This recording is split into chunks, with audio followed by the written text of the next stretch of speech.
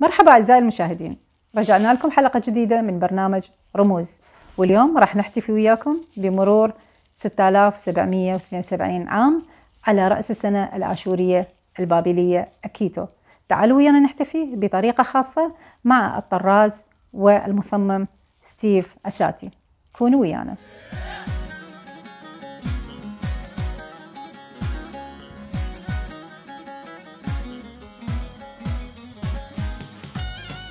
طبعا بالبداية أهلا وسهلا بكم. حتى لو كنا فول مشغولين فلازم. يعني نعوف لكم فت وقت مجال حتى نعطي شوية معلومات على هاي الأزياء. وإحنا نحب إنه الناس تجي هنا وتشوف إنه إيش نسوي وإيش نشتغل. اليوم دا أحضر بدلة اشوريه بس على الطراز القديم البحت القماش مغزول ومنسوج يدوي والشغل كله التطريز دا يكون يدوي واني بإيدي دا أسويهم. فهاي البدلة آه يعني كلش تعبنا عليها فباقي لنا أيام قليلة لازم تجهز حتى إنه نلبسها. الهيجي أيام حلو. عندي سؤال كلش مهم هو ليش الزي الأزياء الأشورية أو حتى أزياء سهل نينوى كلش قليل اللي, اللي يعني يخيطوها ويطرزوها وليش هي مو تجارية؟ يعني ما نشوف بالأسواق معروضة أو للبيع؟ يعني اللي يبيعونها ويطرزون كلش ينعدون على الأصابع. الناس اللي تشتغل بهاي الأزياء تقريبا انقرضت. ما نقدر نقول انقرضت 100% بعد أكو ناس تشتغلها بس موضوعها جدا مكلف. وكلش تعب ومو كل واحد يدبرها يشتغلها. لأن كل قطعة نقعد عليها أشهر طويلة وأيام طويلة حتى نقدر نخلصها لأن كل الشغل دا يكون بها يدوي. الأقمشة كلها يدوية والتطريز كله دا يكون يدوي. أكو هسه أشياء صارت يجيبوها من خارج العراق إنه أخذوا عليها copy paste دا يشتغلوها. بس ما تبقى بقيمتها ومعنويتها القديمة الأصلية. أنا واحد من الناس اللي دا أحافظ على المهن والحرف اليدوية يعني إنه النساج يقعد يشتغل لنا القماش إحنا نقعد نشتغل على الطريقة القديمة. تشوفين الملابس بهذا الشكل تكون أحلى وأرتب وتحط تنطي قيمة الملابس. تنطي نكهة التراث. القديم أكيد. تمام. أنت عندك أكيد تحديث مسوي يعني هو أعرف أكو أمور ما يصير تغيرها بالزي لكن أكيد لك بصمة أو تحديثات تصير شوية. أكيد إحنا بكل زي أكو أصول وأكو أساسيات. إحنا هذا محافظين عليه أو نقدر نقول هذا المتوارث مال جدودنا. فإحنا نحاول نحافظ عليه إنه يبقى كل زي مثل ما هو بس أكو لمساتنا إحنا بالشغل كطريقة تطريز ألوان اللي نختارها بالخيوط آه القياسات مال القطع نرجع نتلاعب بها نسويها أكثر تلائم جسم الزبون. أوكي يعني أكو أمور نقدر نغيرها إحنا من يوم نحط لها فد لمسة أجمل. بس أني واحد من الناس اللي دا أحافظ على خامات القديمة بالاستعمال موديلات القطع اللي دا نخيطها فصالهم خياطتهم. أحاول إنه دائما تكون نفس القديمة 100% زين حضرتك شلون تميز بين يعني هي هواية أزياء وكل قرية لها زيها الخاص يعني نساء ورجال. صحيح. حضرتك شلون صار عندك إلمام بهذا الموضوع وشلون تقدر تميزها؟ وهل أنت عندك يعني حاليا مثلا من كل زي؟ الموضوع يمي أني كان بالبداية الأمر إنه كهواية إنه أني أحب أجمع أزياء. فقدرت أتنقل بهواية قرى واعاشر هواية ناس كبار بالعمر يلبسون هذا الزي. تعلمت من عندهم إنه طريقة اللبس طريقة الشغل مالته وقدرت أجمع قطع قديمة أصلية من عندهم. فعلى ضوءها بلشت أني أبدي بمشروعي. بالبداية طبعا ما كان عندي مبيعات إنه كانت مجرد هواية وأريد أبقيها بالبيت. إنه قطع لنا للبيت إنه بس أني أحب يكون عندي أزياء قديمة. بعدين من بعد اللي صار بالموصل والناس النزوح اللي صار بعنكاوة الناس اللي تفاوتت على عنكاوة يعني صارت تعرفين بعد مرور أيام وسنين وأشهر صار أكو مناسبات تصير يحتاجون هاي الملابس هم طلعوا بدون شيء وياهم. فشفت الناس صاروا يحبون هاي الشغلة يجون علي ستيف شغلك حلو ستيف محتاجين الزي. فبلشت شوي شوي وياهم وياهم. شو بعدين شفت إنه صار لا لازم صار أشتغل هواية وأكثر الشغل لأن الناس كلش حبوا هذا الزي. حلو. إيه؟ على احتفالات أكيد أكيد يصير طلب أكثر. طبعا أكيد أكيد أكيد أكيد. فأنت يعني شلون تلحق؟ شلون ترتب أمورك؟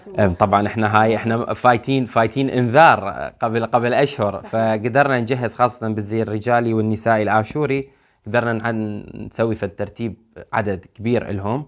الحمد لله لحد البارحة قدرنا ننطي كل الزباين مالتنا ملابسهم وكلهم كانوا فرحانين بيها. كلش ممتاز. زين آه أنا هسه اليوم لابسة زي الاشوري بس أنا لبسته يعني هيك بعفوية. يعني okay. ما أعرف هو الأحمر شنو شو وقت ينلبس الألوان البقية شو وقت تنلبس؟ okay تمام. طبعا الملابس قبل ما كانوا يلبسوها عفوية مو مثل هسه صار كل واحد يلبس اللون اللي يحبه. العمر المناسبة والوقت. هذه الثلاث عناصر تفوت باختيار الملابس. يعني المرأة الكبيرة قبل ما كانت تلبس الأحمر الأزرق ما أعرف شنو الألوان ال- ال- خلينا نقول الصيفية أو الف- الفرحانة كلش. تلبس ألوان تلائم عمرها غامقة تلائم. إي إي غامقة شوي تلائم عمرها تلائم آه، ال- المناسبة اللي دا تروح عليها. إنما البنات الصغار اللي أصغر منها عمرا كانوا يلبسون مثلا هسه هالأيام الألوان اللي تنلبس أحمر أخضر برتقالي البنفسجي ال- الخمريات هاي الألوان تنلبس هسه وقتها. بما إنه ورد نيسان وما ورد نيسان يطلع فدائما كانوا البنات يتميزون باللون الأحمر. حلو. أي. وهاي الريشه اللي إحنا نسميها طرخة. طرخة. أي. طرخة أكو نوعين. أها. أكو ريش يحطوه فوق والطرخة دائما كانت تصير هنا بهذا الجنب. أي. نعم. أسفل البوشية. الطرخة هي قصة. مو ياهو اللي يجي ويخليها. الطرخة كانت أم الولد. يوم عرس ابنها. أي. تشيل الطرخة بإيدها. إن كانت كغصن فد نبتة معينة أو فد ريشه حلوة تمام؟ تكون تفتر بال... بين المعازيم. البنية اللي تكون كلش حلوة وتكون إنه ملابسها كلش حلوة وراقية يخلون الطرخة إلها. أي. يعني كرمز أي آه، تختار وحدة حلوة أجمل وحدة بالعرس بال- أجمل وحدة بالعرس. آه، طبعا. أكيد. تمام. معلومات كلش حلوة. الله آه، يخليك. عندك قطعة محافظ عليها من بعد مرور يعني أقدم قطعة نقدر نقول؟ عندي. عندي بالملابس الآشورية عندي قطع آه، مصنوعة في وقت الإنجليز بالحبانية.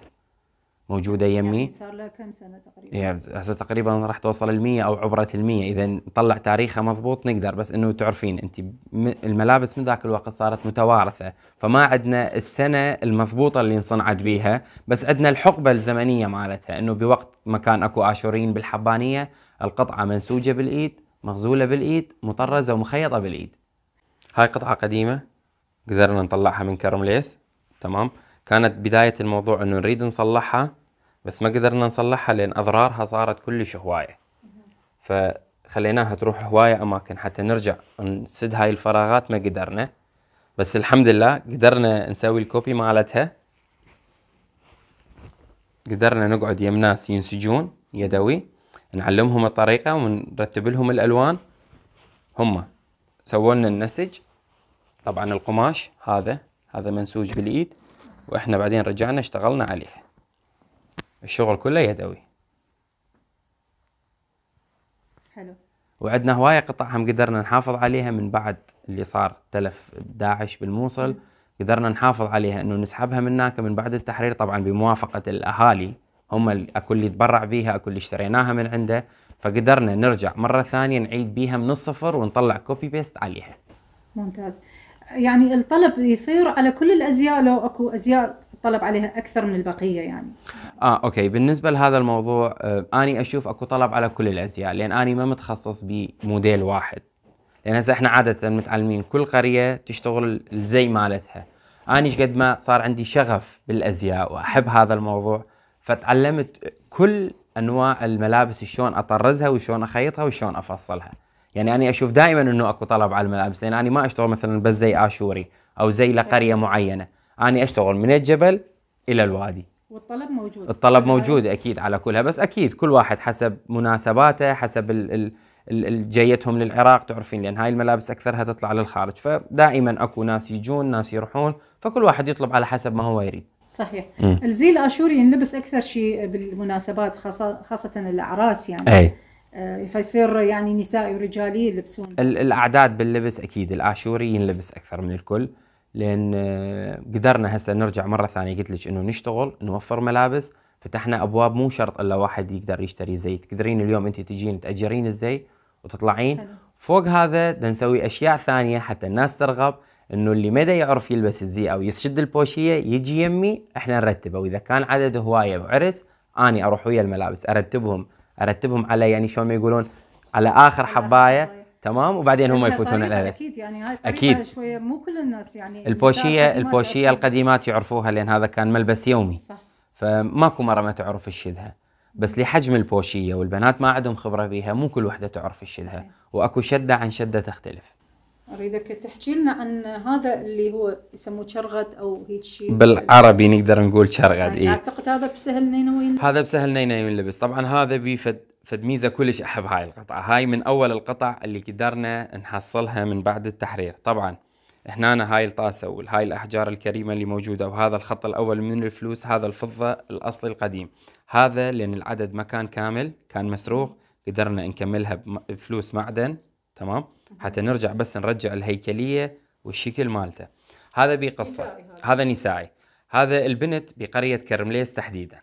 تمام؟ قبل عرسها ما تلبس هذا الشيء. هاي الشدة على راسها. تلبس شفية عادية. يوم العرس تمام؟ يجمعوا لها هاي الفلوس وهاي الأشياء. طبعا كل ما زادت هذا الموضوع زاد على الراس يبين إنه هي تقدم لها مهر هواية وهي من من طبقة راقية بالقرية. فمن يوم عرسها الصبح تلبس هذه الشدة على رأسها. هاي طبعا كلها تركيب كلها شغل يدوي. يشد هاي على رأسها وتظل لابستها طول العمر. حلو. تتحول إنه من بنت إلى امرأة متزوجة. إلى متزوجة. زين نريد تحكي لنا على يعني إحنا عرفنا الزي الرجالي أكو تلبس أيضا مثل يعني في شيء على الراس إيه شفقة. شفقة الشفقة، بيها ألوان بيها صحيح. آه، الشفقة الرجالية إحنا طبعا بالعربي يقال لها شفقة بس هي كسيثة. ينقال لها بالسورة صح. أكو لها نوعين. لحد فترة زمنية معينة كانوا يلبسوها لون الأبيض أو الأوف وايت. بعدين من كثرة الحروب وكثر الحزن انصبغت. صاروا يلبسوها أسود. بس أنا عندي الحمد لله القطعتين. عندي البيضة. هذه هي.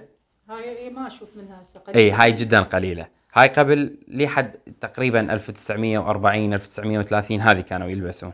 بيضة. طبعا إشكال كان أكو اللي أكبر واللي أصغر على حسب كل واحد راسه شلون تقعد عليه أو هو شلون يحب يلبسها. هذه مصنوعة من وبر. فهاي كلش ثخينة. هاي الريش. الريش هي جاهة وملوكة. آه، إنه كشخص اي وقبل ما كانوا يستعملون هذا الريش كان هو الشاب يطلع للصيد شنو نوع الطيور اللي يصيدها؟ يشيل منها ريش يخليها هنا. حتى يبين نفسه إنه هو صياد قوي. طبعا. فهذه البيضة الموجودة القديمة. وعندنا هنا هاي الشفقات السود اللي انلبست بالفترة الأخيرة. هذه هي. طبعا بنفس المتداولة. هي هاي المتداولة أكثر. نفس طريقة الصنع ونفس المادة. آه، هنا بدنا نشوف آه، عندك آه، يعني زين لقينا بعدك مو بعد موجودة. كم قطعة. فنريد تحكي لنا عنها الزي الرجالي اللي هو هذا. آه، شنو اسمائها مثلا؟ هذا شنو اسمه؟ تمام. واسماء okay. بعدها القديمة اللي هي أكيد طبعا طبعا. يعرفوها أكيد. هنا طبعا هو زي آشوري نسائي. إحنا بعدنا محافظين على ديكوره وفصاله بس نغ... شلون ما قلت لكم قبل شوية نغير الخامات مالته حتى إنه نصير مواكبين الأشياء العصرية والناس لا يضوجون منها. هاي قطعة ثانية. هاي بال... باللهجة بالقرى اللي يلبسوها يقولوا لها شقتة يعني هي صاية أو زبون بالعربي. بس بالسورث ي... يقولوا لها شقتة. شقتة. تمام؟ هاي قطعة ثالثة هنا هاي قطعة قبل كانوا يلبسوها للزي الآشوري. ما كان أكو شخص يطلع إذا ما كان يلبس هاي خاصة أيام البرد وأيام لما كانوا يطلعون للحرب أو يصير فد هجمة عليهم. مثل درع. مثل درع هذه. شوي- فالقطعة كلش ثخينة قوي. وقوية. فهاي كانوا يلبسوها أيام اللي تصير عندهم حروب أو مثلا يصير عندهم فد مشكلة كبيرة يلبسون هاي خوفا من الأسلحة اللي ينضربون بيها. لأن قبل كانت دائما نزاعاتهم تصير بالخناجر. صح. فهاي بيها متانة إنه الخنجر ما يفوت بيها ثخينة شنو اسم القطعة هاي؟ شوخة. شوخة. شوخة. هاي على حسب ال- ال- اللفظة الآشورية القديمة المتوارثة. أقدر أعرف إنه لحد الآن كل هاي الفترة اللي أنت بتشتغل إيش قد أنجزت مثلا عندك ببالك رقم تعرف إنه كم أنجزت من الأزياء؟ هي إحنا يعني. إحنا كأزياء كلها غطيناها خاصة الأزياء المسيحية خلينا نقول نحطها بين قوسين لأن إحنا بدنا نركز على هذا الموضوع. صح. آه كل القرى كل الموديلات اشتغلتها ما بقى عندي أي موديل ما مسويه. وبالنسبة للعدد إذا نقعد نحسبها اليوم بالورقة والقلم أنطيج بيهم جارنتي أكو أكثر من 500 قطعة اشتغلت لأن إحنا الأزياء مالتنا مو قطعة واحدة مجموعة قطع تمام؟ أكيد. اللي بالقرى كل زي يعادل تقريبا يوصل إلى 8 9 قطع. تمام صحيح آه عندنا هواية فرق من خارج العراق على التليفون أو يجون هنا للعراق نقدر إحنا جهزناهم كل شيء كامل وأخذوها وياهم راحوا فإحنا إذا نجي نحسب الازياء اللي إحنا مشتغليها واصلين عدد ما شاء الله ما نقدر نذكره حتى لا. تبقى العين مفتوحة علينا أكيد أكيد أه، شنو التحديثات الجديدة اللي أدخلتها على. يعني إحنا حكينا على التحديثات بس ما يعني ركزنا على أي. التفاصيل مثل شنو أدخلت يعني قصة التراث أو اللغة الاشوريه أو فد شيء دخلنا هواية تحديثات على الملابس. طبعا والحلو إنه دا نشوف إنه شبابنا وبناتنا هسه يحبون هاي التحديثات تصير أكيد إحنا أول شيء قلت لك إحنا نحافظ على الديكور القديم حتى تبقى اللمسة الفلكلورية موجودة. بالنسبة لطرق التطريز والأشياء اللي تطرز دائما بالملابس آه، قدرنا نحدث بيها شوية. فوتنا مثلا إحنا دائما كنا نعرف البدلات إنه لازم تكون بيها صليب أو علامة الزائد لأن قبل كانوا يلبسوها ما يعرفون شلون يرسمون الصليب فيسوون علامة الزائد صح. يرمز للمسيحية. اليوم قدرنا مو بس هذه نفوت نقشات من بوابة عشتار من القصور الآشورية الأحرف خلينا نقول السريانية أو المسيحية كلها قدرنا ندخلها كلمات نقدر نقولها. آه، أنت شنو رؤيتك المستقبلية لهذا المشروع؟ يعني شلون تشوف ال... وين راح توصل؟ شنو ببالك من طموح؟ آه، الطموح أكيد إنه نوصل عدد أكثر من الملابس اللي عندنا طبعا إحنا عندنا عدد هائل بالبيت بس اليوم الحمد لله قدرنا إنه كلها نعطيها للناس حتى بعد كم يوم اي نغطي الاحتفال. أه نحب إنه نجمع أكثر ونشتغل أكثر ونكبر الفريق. تمام. أنا هواي أشكرك. يا أهلا وسهلا. وقتك وبهاي الظروف شكرا جزيلا. لا بالعكس شرفتونا أكيد وكلش فرحنا إنه أنت جيتي اليوم يمنا لابسة الزي. يا أهلا وسهلا.